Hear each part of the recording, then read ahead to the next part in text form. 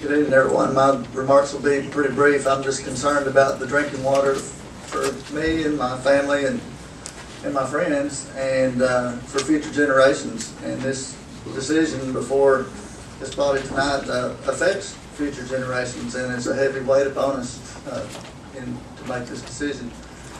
And uh, I'd just like to urge the decision makers here to, uh, to wait until the USGS survey revision is out in the spring of 2012. Wait, wait a minute, wait a minute. This is the amendment now, not Oh my the whole ordinance.